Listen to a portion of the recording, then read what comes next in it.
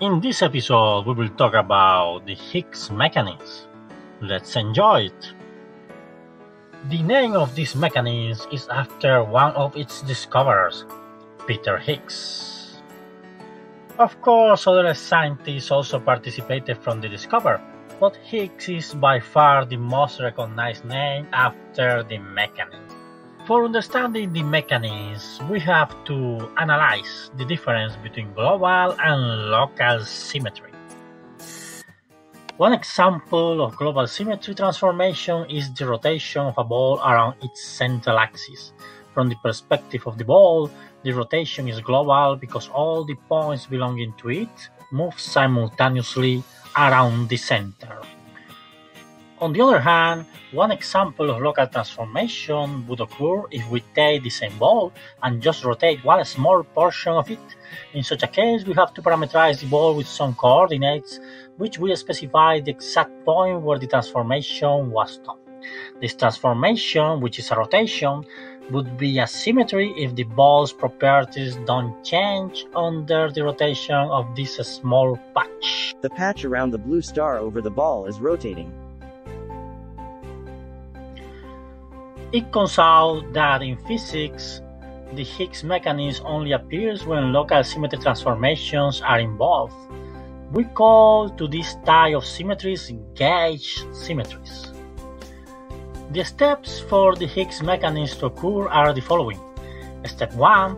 A local symmetry or equivalently, a gauge symmetry has to be spontaneously broken.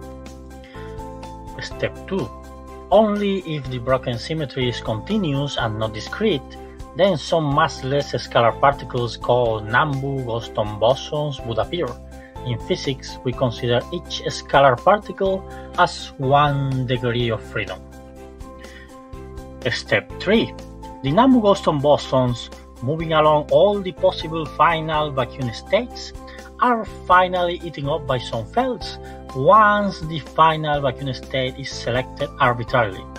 The fields eating the Nambu-Goldstone bosons could be vector fields or tensor fields, for example. The Pac-Man on the figure represents a field eating one Nambu-Goldstone boson. Before eating, Pac-Man was massless. After eating, he would become massive. In physics, we classify the counting of degrees of freedom for the fields in agreement with the spin they carry.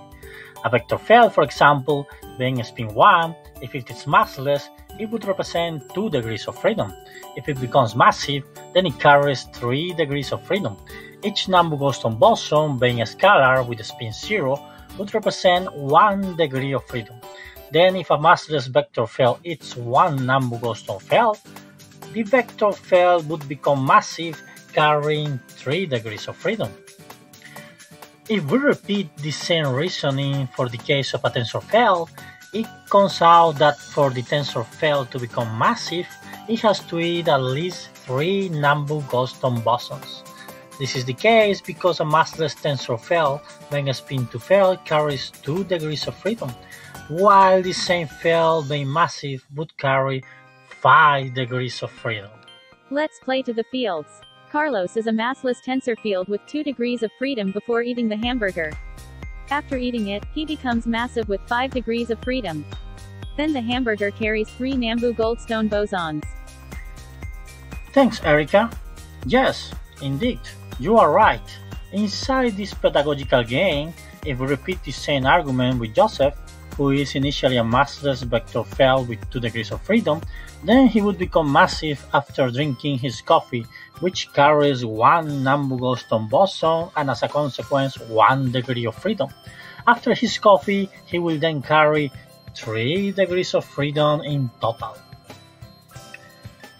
In summary, the Higgs mechanism only appears when we consider local continuous symmetries which are spontaneously broken inside some specific system.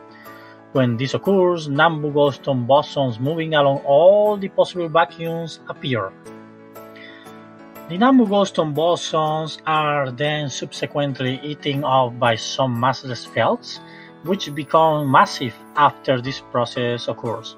When this happens, one single final vacuum state is selected arbitrarily.